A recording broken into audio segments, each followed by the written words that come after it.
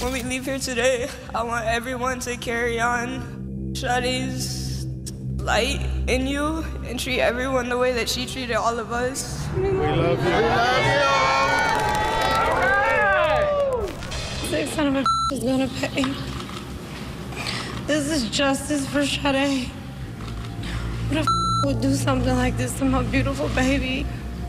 She hurt nobody. To lose a child is something that was not a part of my plan. But my daughter's voice is actually reaching and touching and making awareness of what really exists. This is 19-year-old Sade Robinson. On April 1st, 2023, she was really excited to go on her first date with a man she had recently met. Unfortunately, she didn't know that would be the beginning of a horrific nightmare for her and her family. Her loved ones started to panic when they couldn't reach her on the phone that evening, and she didn't show up at work the next April 2nd, 2024. That same day, one of her co-workers reported her missing, but unfortunately, that missing person's report would quickly escalate into a potential homicide when her car was found on fire in an alleyway approximately two miles away from where she was last seen with her date, 33-year-old Maxwell Anderson.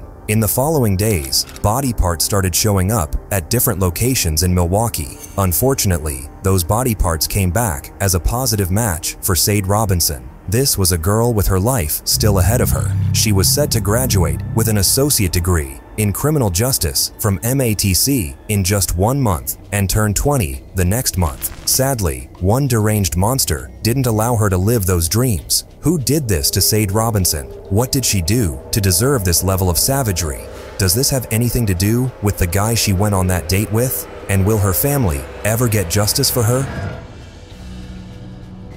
Sade Carlina Robinson was born in Vicksburg, Mississippi on May 10, 2004. When she was born, her parents, Sheena Scarborough and Carlos Robinson, were overjoyed with the arrival of their first child, but it wasn't long before they gave her a younger sister, Adriana, making them a lovely family of four. The family, at first glance, appeared to have a picture-perfect life. However, life took an unexpected turn when Sade was just two years old. Her parents, Sheena and Carlos, started having problems, and their relationship slowly fell apart. Sadly, they eventually decided to go their separate ways. Seeking a fresh start, Sheena moved with Sade to Milwaukee, Wisconsin, while Carlos eventually settled in Florida. This split meant that Sade's life would now be divided between two states. Growing up, Sade adapted to the challenging situation. She spent her time traveling back and forth between Milwaukee and Florida, trying to spend as much time as possible with both of her parents. It wasn't easy, but Sade was a resilient and adaptable child she learned to find joy in both places and made the best of her circumstances. Sade had attended one of the public schools within the Milwaukee area where she enjoyed Girl Scout and soccer. According to her mother Scarborough, Sade was an art lover. She was a talented dancer who found joy in rapping, performing, and even dabbled in ballroom dance. In middle school, Sade was part of the Junior Reserve Officers Training Corps, or JROTC. Her mother said, she had actually dreamed of one day joining the U.S. Air Force to serve her country. As Sade entered her teenage years, she attended Ida S. Baker High School in Florida. Sade was an excellent student, and her good grades were proof of how hard she really worked. While in high school, Sade began looking for job opportunities as she was eager to start building her career and gain some independence. Even though her parents were ever supportive and took care of her, Sade didn't want to depend on anyone. She has always wanted to make her own money right from an early age. Nancy, everything you spoke was exactly what my daughter exerted. I couldn't have asked for any better daughter. This girl was a hustler, but her go-getter spirit did not distract her from her studies as she graduated a semester early from Riverside in December 2021. So, instead of her set, she walked the graduation stage with the class of 2022. After high school, Sade enrolled at MATC to pursue a degree in criminal justice and was considering continuing her studies at Concordia University in Mequon. There was things my daughter did that many adults were not even able to accomplish in their lifetime. While she was working hard to achieve her goals, Sade also looked out for her baby sister, Adriana. She helped Adriana get a job at the Wisconsin Club where she also worked as a hostess. Sade herself had been working there for a while, balancing her schoolwork and job responsibilities with ease. In addition to her job at the Wisconsin Club, Sade worked at a restaurant called Pizza Shuttle. She had been working there for about five years and was well known for her cheerful personality and strong work ethic. Sade is beautiful, beautiful soul. I knew that my kids were very special and different. They were, were my parents raised me, they raised us. She worked mainly at the front counter as a cashier, and her manager, Justin Romano, said she was a favorite among coworkers and customers, often talking with her all day. Despite her busy schedule, Sade managed to balance everything perfectly. She was a full-time college student and held down two jobs, all at the young age of 19. Her hard work allowed her to afford a small, cozy apartment in Milwaukee. She often had her grandmother, Linda, over for visits. They spent quality time together, cooking seafood and making beautiful memories. She doesn't stay in a college dorm campus. She has her own bachelorette apartment. She has her own car. She pays all of her own bills. This is traumatizing, Nancy. I never expected this to pull up on my front door. Sade's future looked incredibly bright. She was set to graduate with an associate degree in criminal justice from MATC with a commendable 3.5 GPA in just one month and turn 20 the next month. A month before she's graduating with her Associate of Arts degree. She works so hard. She's a full time student. She has two full time jobs. She has her own little bachelorette apartment. However, that milestone moment for her family won't happen as she mysteriously disappeared on April 2nd, 2024, leaving her loved ones in a state of shock and heartbreak. need to do whatever we can to bring her home. Until we find out what we need to find out, we just come out and, and you just keep pushing forward. And we let the experts come and decide, you know, determine what they know. And, and we're just the eyes and the ears on the ground. She was bright, always, you know, making feel people uh, welcomed. She looked out for my baby. The least I could do was look out for her, her mama's baby.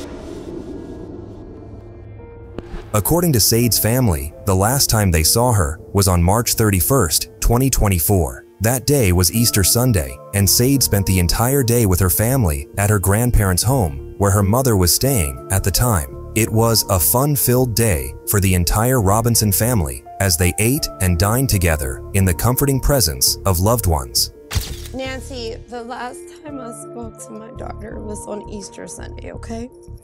We seen her. She came by my parents' home. We spent the Sunday together. This was Easter Sunday, okay? Um, I cooked for them. Both of my daughters, we all met by my parents' house where I'm currently at.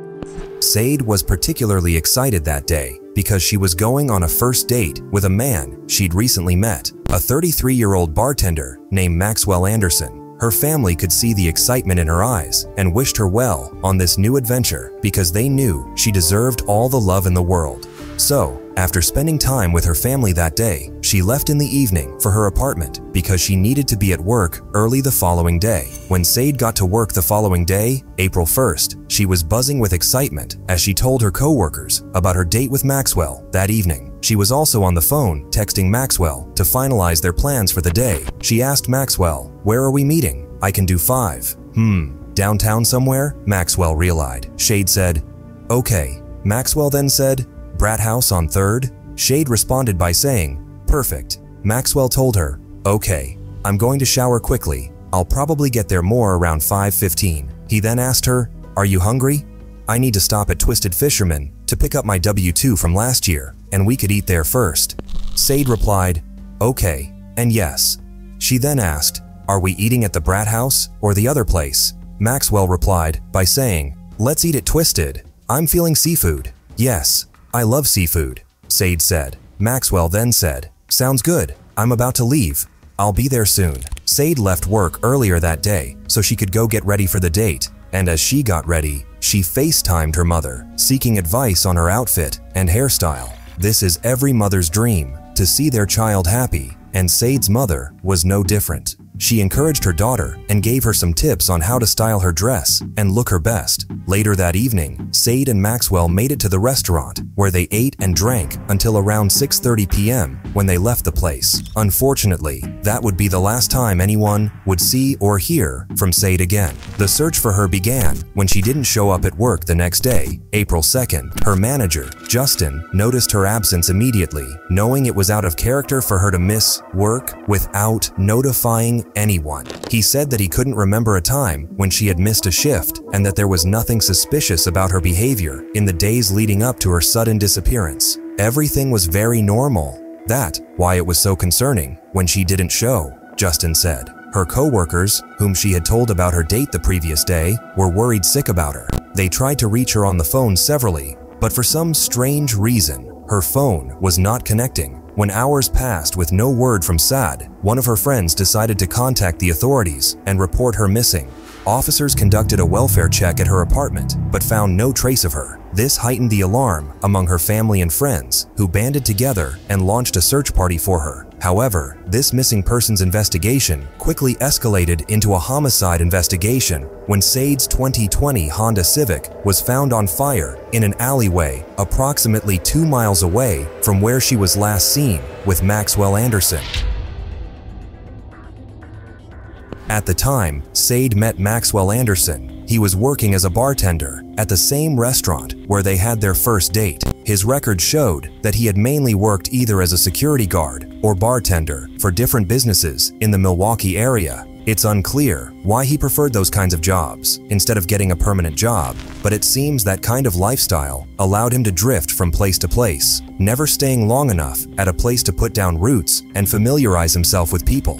His rap sheet is filled with a troubling series of criminal activities. He had faced numerous arrests for drunk driving and Court records also suggest there have been concerns about his mental health and substance abuse. A particularly serious incident occurred in July 2014 when Maxwell was charged with misdemeanor disorderly conduct. The charges stemmed from a chaotic encounter that happened when Maxwell was visiting his family from Colorado. One of his relatives returned home from work one day and found Maxwell acting strangely and sweating profusely. The relative tried to find out what was going on with him, but he could not answer any of her questions. Eventually, Maxwell began screaming and throwing things and locked his relative in a room while he tried calling his father on the phone. When a deputy arrived at the scene, Maxwell defiantly challenged them then fled into the garage and stole the woman's car. However, his reckless escape ended when he crashed the vehicle into a deck close by. He also got into a physical confrontation with another relative, which resulted in the relative breaking multiple ribs. Maxwell himself ended up in the hospital with a broken collarbone. One of his relatives told investigators she believed Anderson was under the influence of substances during the time of those attacks.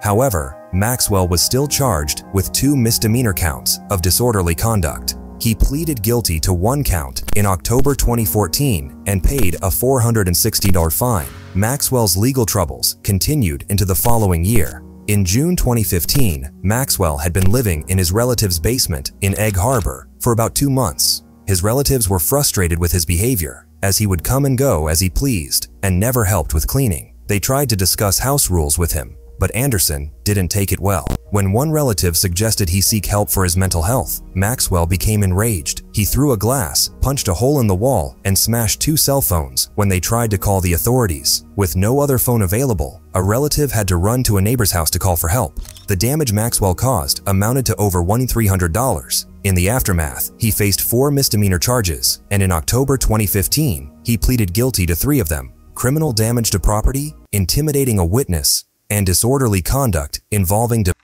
abuse. As a result, he was put on probation for a year, required to pay fines and restitution, and had to maintain full-time employment or schooling while completing any necessary programs set by the Wisconsin Department of Corrections. However, those disciplinary measures only worked for some time before Maxwell continued with his pattern of violence. In 2019, he got into a street fight with a stranger who tried to intervene during an argument between Maxwell and a woman. A witness captured the violent scene on video, showing Maxwell repeatedly striking the man before dragging him to the ground. Maxwell admitted to the attack when he was arrested by law enforcement and pleaded guilty to misdemeanor disorderly conduct. His sentence included one year of probation, 25 hours of community service, and $7,000 in restitution to the victim for medical expenses and lost wages. In January 2022, Maxwell found himself in trouble once again with the West Allis law enforcement when an officer spotted his car hurtling down the road at 70 miles per hour in a 30 mile per hour zone, disregarding a flashing red light. When the officer pulled him over, Maxwell explained that he was on his way home from work. However, a breathalyzer test revealed a blood alcohol content of 0.145 and an open container was discovered in his vehicle. Anderson admitted to having been drinking, marking his second drunk driving offense. The first occurred in 2014 in Waukesha County. He pleaded guilty to a misdemeanor, resulting in a year of probation, a $350 fine, and the suspension of his driver's license. But Anderson's troubles didn't end there. In August of the same year, he was cited for driving with a suspended license in Ozaukee County. During a court hearing that month, his probation agent reported that Anderson had tested positive for coke, THC, and alcohol. This prompted a Milwaukee County judge to mandate sobriety as a condition of his probation. Despite these setbacks, by March 2023, Anderson had completed his probation and was discharged. Now, in April 2024, this same Maxwell Anderson found himself in the middle of a homicide investigation because he was the last person to be seen with Sade Robinson hours before her sudden disappearance. Given his extensive criminal history, could it be that Maxwell had anything to do with Sade's disappearance?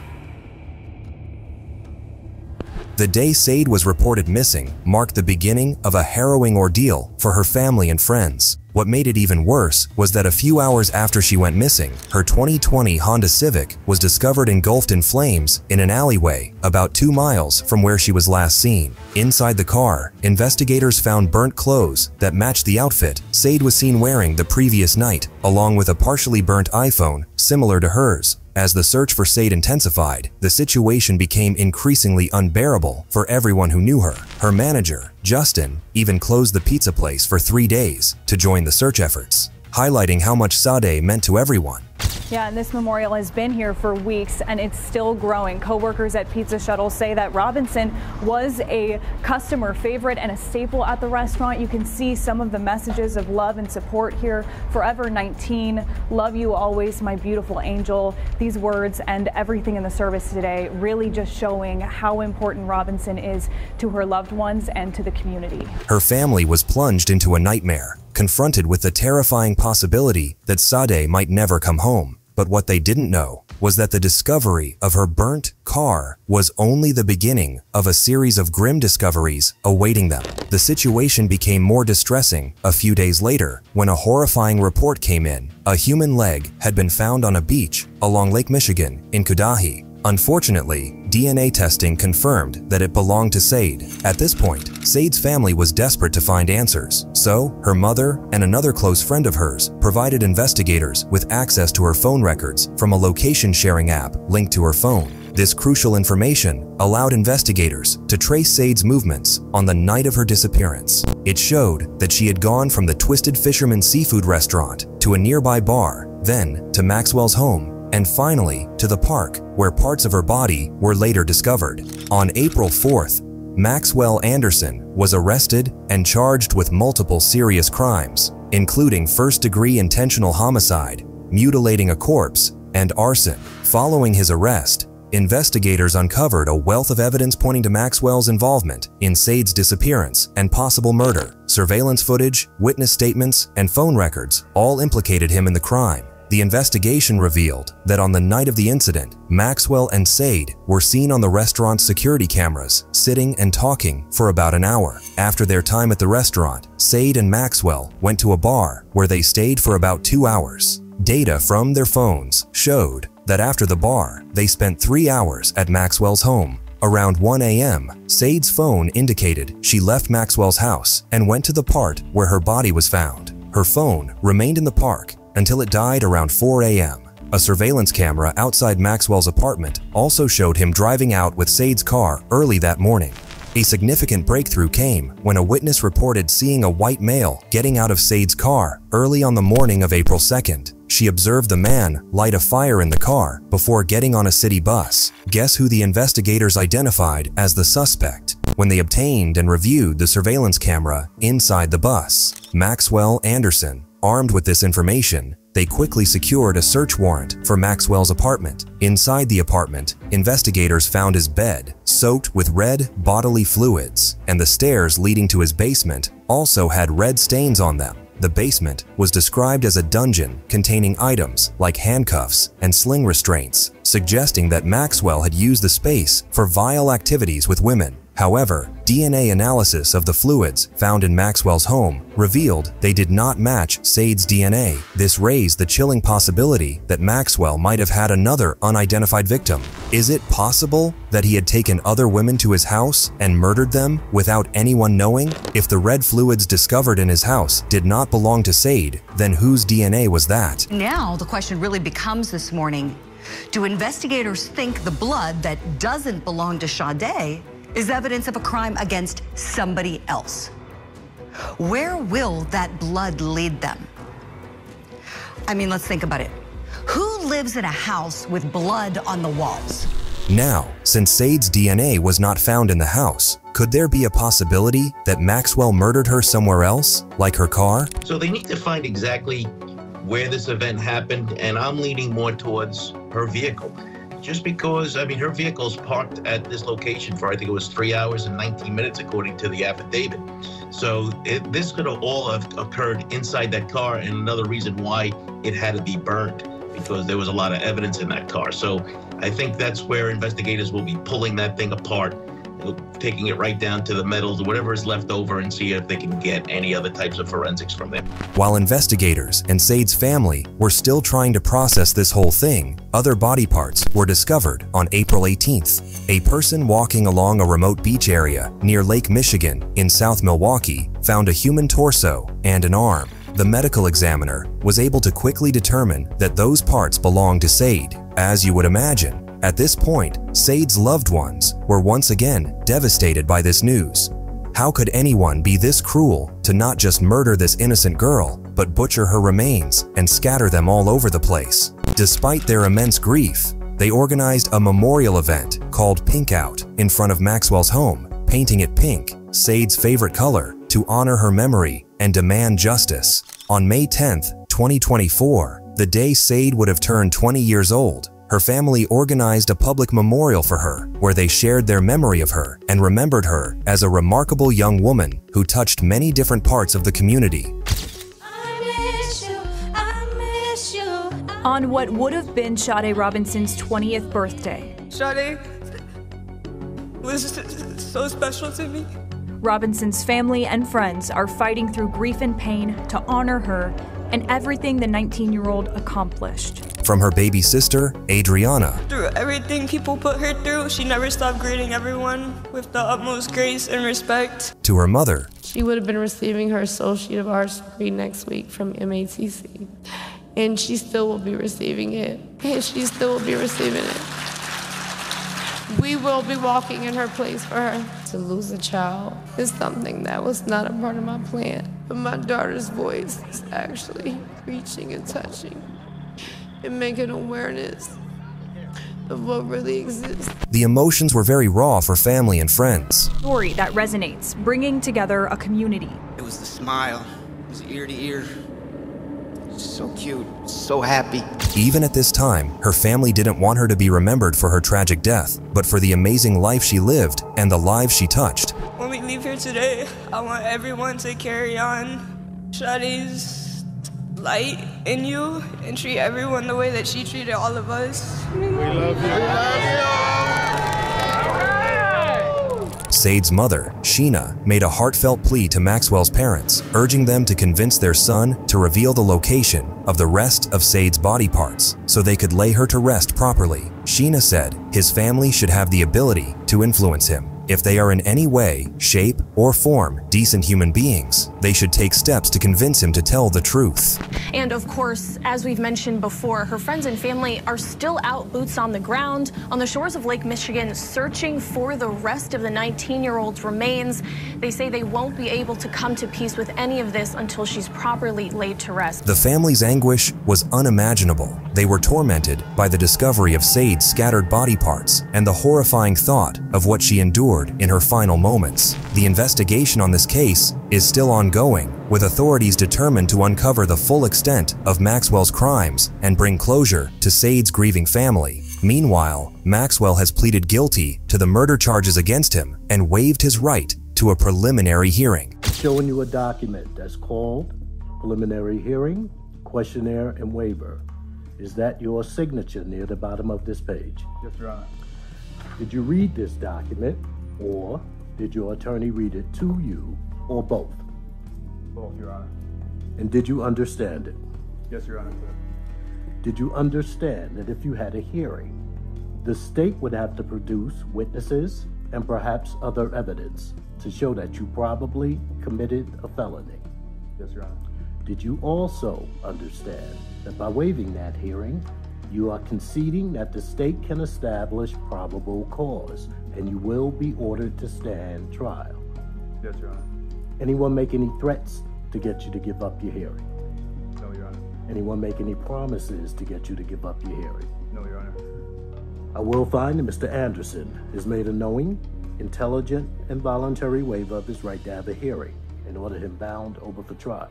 As of now, he remains in jail, held on a $5 million bond. In a surprising turn of events, Maxwell's family has recently sold his house, the one connected to Sade Robinson's murder. Now, the new owner allegedly had no idea the property involved such a high-profile homicide case. Anyway, the Milwaukee County Sheriff's Office has maintained that the home sale would not impact the criminal investigation against Maxwell Anderson. Do you think Maxwell's family is trying to cover up something for him by selling his house while he's still in the middle of a homicide investigation? Please feel free to share your thoughts in the comments. And if you enjoyed this video, please give it a thumbs up and subscribe to our channel for more content like this. Thank you for watching. Until next time, stay safe.